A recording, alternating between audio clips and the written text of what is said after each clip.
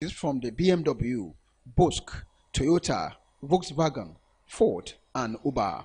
Upon their arrival, Governor Obaseki took them to some auto dealers in Benin, where they were told that the corridors host at least 100 dealers, while vehicles in their care stretch to thousands.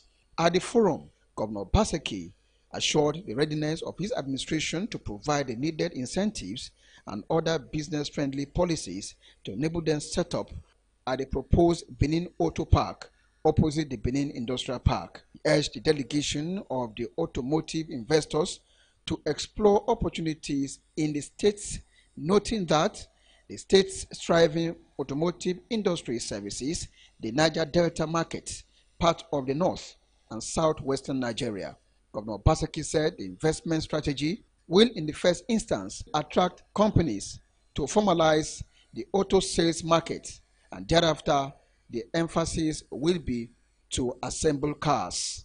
Most people want to buy brand new cars, but today they can't afford it. So they live with what is available. But that culture of purchasing cars do exist. So we believe that once we, we mature the market have, then the next phase, which is going to be very soon, will be vehicle and motor assembly here particularly as we have designated areas in an industrial park for such activities.